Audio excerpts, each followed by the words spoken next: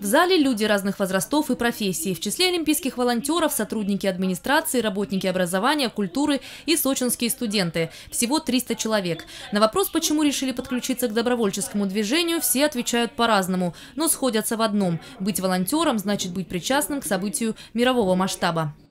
С момента принятия Олимпийских игр, с момента того чувства, когда вот нахлынуло, когда гордость была, прежде всего, за наш город. Решил, что кто как не я, как говорится, должен поддержать нашу страну, наших ребят, помочь им, прежде всего, в этих нелегких днях. Интересно просто принять участие как-то в организации проведения игр, помогать чем-то.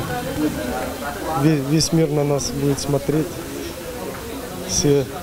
Ну, действительно нужна помощь.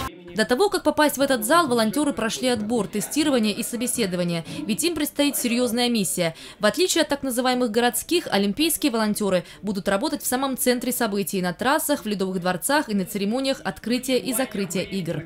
Это те волонтеры, которые будут представлять Россию в числе большого количества, это 19 тысяч волонтеров, которые будут представлены во время Олимпийских, Паралимпийских игр. И у нас уже прошло обучение там почти 20 тысяч человек.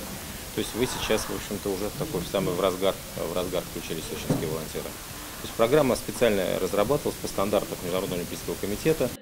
За три дня в ходе тренингов будущим волонтерам предстоит узнать об истории и философии Олимпийских игр, их ценностях и зимних видах спорта. По такой программе обучат 3000 олимпийских волонтеров. Второй этап обучения стартует осенью, а главный за три дня до старта зимних игр уже на олимпийских объектах. Всего же в Олимпиаде будут задействованы 10 тысяч добровольцев.